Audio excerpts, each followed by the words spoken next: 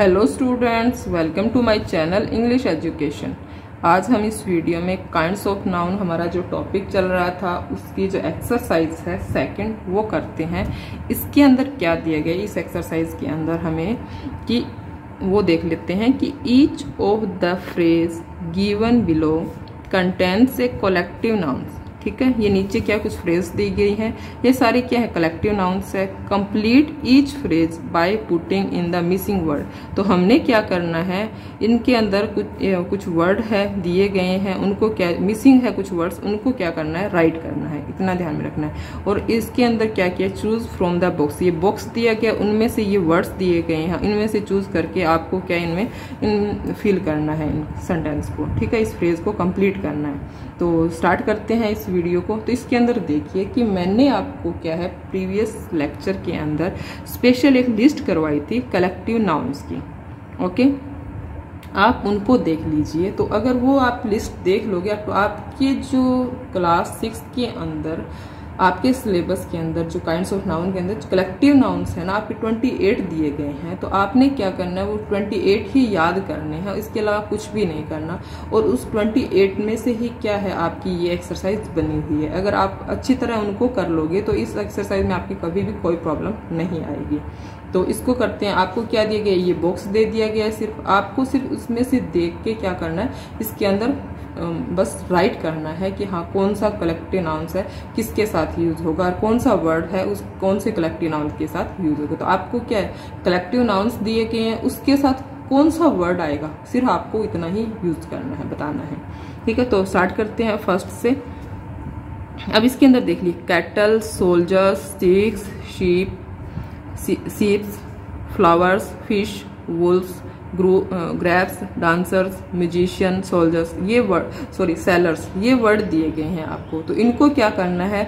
हमने इनके अंदर राइट करना है जो फिल इन द ब्लैंक्स के अंदर। तो सबसे पहले फ़र्स्ट से स्टार्ट करते हैं कि ए बंच ऑफ़ तो बंच जो कलेक्टिव नाउन है, ये किसके साथ आएगा? ये हमें ध्यान में होना चाहिए। अगर हमें याद है, हमने याद किया हुआ है कुछ कलेक्टिव नाउन्स को जो हमारे सिलेबस में तो तो हम ये ये कहते हैं ना, फटाफट कर देंगे। ठीक है? तो ये फटाफट कर देंगे। तो इसके अंदर देखो, पहले कि बंच जो होता है, वो किसके लिए यूज़ होता है? जो कलेक्टिव नाउन ये ग्रैप्स के लिए यूज़ होता है। तो इसके अंदर जो वर्ड दिया गया है ग्रैप्स हाँ ये हमें यहाँ पे राइट कर देना है ग्रैप्स इसके अलावा और मैं क्लियर कर देती हूँ तो ये वर्ड जो है, ये किसके लिए आता है? जो बंच है, ये बनानास के लिए भी आता है और ये कीज जो वर्ड है, इसके लिए भी हम इसका यूज़ करते हैं। ठीक है? बंच ही आएगा इनके साथ भी। तो ये भी साथ साथ आपने ये ध्यान में रखना है। नेक्स्ट से लिए नेक्स्ट जो सेंटेंस लेते हैं, ये फ्रेज लेते हैं अपने कि ये बंडल ऑफ़ बंडल है, किसका बंडल है? तो इसके अंदर देखिए कि ऐसा कौन सा वर्ड है जिसके अंदर हमें बंडल से, ये स्टिक्स है, ठीक है? तो बंडल किसका होता है? स्टिक्स का ही होता है तो ये हमें इसके अंदर राइट कर देना है ये वर्ड हमें स्टिक्स ठीक है? तो यहाँ पे ये बंडल क्या कलेक्टिव नाउन है तो इसके साथ में कौन सा मैच होगा? स्टिक्स यहाँ पे मैच होगा, ये वर्ड तो ये हमने यहाँ पे राइट कर दिया।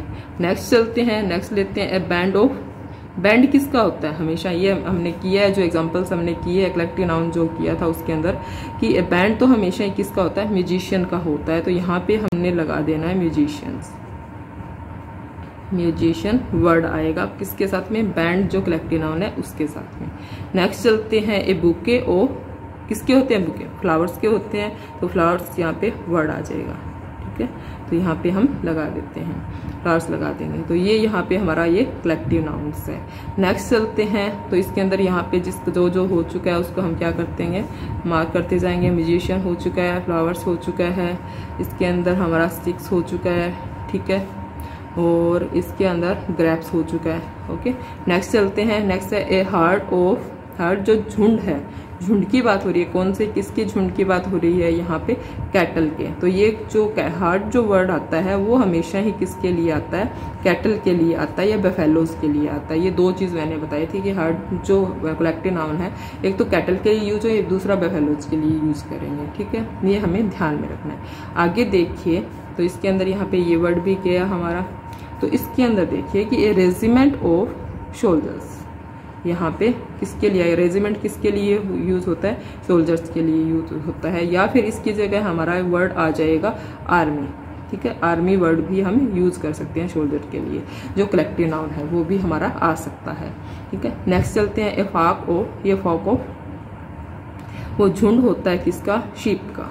शीप तो यहाँ पे किसकी बात हो रही है? किसके झुंड की बात हो रही है? शीप के। तो यहाँ पे ये आ जाएगा। होक के साथ में हमेशा क्या आएगा? शीप आएगा। और ये चीज़ें हमने क्या करनी है? याद होगी तो हमें क्या है? जल्दी जल्दी हम कर देंगे राइट कर देंगे। हमें सिर्फ़ क्या है? ये जो है कलेक्टिव नाउन्स याद होने चाहिए। किसके साथ आएँगे? कौन से वर्ड के साथ हम इसका यूज़ करेंगे? तो वो हमें सिर्फ़ ध्यान में रखना है। ठीक है? तो ये जल्दी जल्दी हो जाएँगे। एक ट्रूफ होता है, ट्रूफ जो होता है, किसका होता है हमेशा? ही मंडली कह सकते हैं अपने। ये होता है डांसर्स का। तो यहाँ पे क्या आ जाएगा? डांसर्स आएगा। ठीक है? तो नेक्स्ट लाइक क्रू जो होता है, वो किसका होता है? क्रू की अगर हम बात करें तो वो होती है सेलर्स की। नाविक की क्या होती है? एक क्रू होता है, हम जो सिर्फ़ नॉर्मल अपनी बात करते हैं तो ये किसके लिए आएगा? सेलर्स के लिए, नाविक के लिए आएगा। अब देखो कि पैक पैक ऑफ़ होता है वोल्स का होता है, मैंने बताया था आपको। होल्स का हो सकता है कार्ड्स का हो सकता है, और किसका होता है थीव्स का हो सकता है। ये इनके लिए जो क्या है कलेक्टिव नाम कौन सा यूज़ होगा? पैक यूज़ होगा। कौन किन के साथ? वूल्स के साथ कार्ड्स के साथ थीव्स के साथ हम लगा सकते हैं। अब नेक्स्ट चलिए तो इसके अंदर देखिए कि जो वर्ड जो कलेक्टिव नाउन है फ्लीट आया है। फ्लीट जो है किसके लिए? सीप्स सीप्स के लिए यूज़ होता है, ठीक है? तो ये आएगा फ्लीट वर्ड सीप्स के लिए आएगा। तो यहाँ पे ये कलेक्टिव नाउन किसके लिए यूज़ है? सीप्स के लिए यूज़ हुआ है। ये हमें ध्यान में रखना है।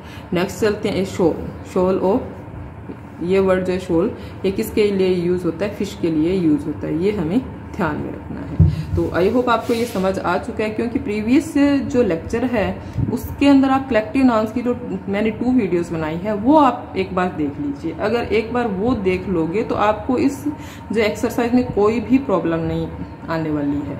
ठीक है? तो आई होप आपको ये जो मैंने समझाई है वो समझ आ चुका है। आपको क्या दी गई दे, देंगे एग्ज़ाम के अंदर?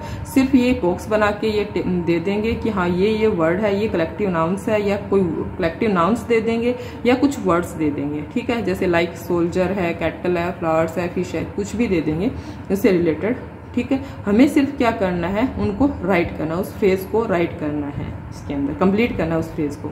तो आई होप आपको ये समझ आ चुका है। तो मिलते हैं नेक्स्ट वीडियो में नेक्स्ट लेक्चर के साथ। Thanks for watching this channel thank you very much